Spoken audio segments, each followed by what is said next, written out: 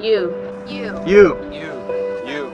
can save lives. can be a hero. There are things you could do. Talk to someone. Talk to someone. Talk to someone. Talk to someone. Talk to someone. They won't shut you down. They're here to help. Reach out.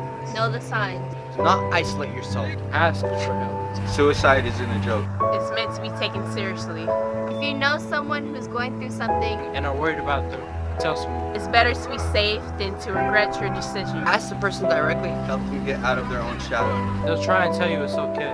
But no one really knows. Don't wait until it's too late.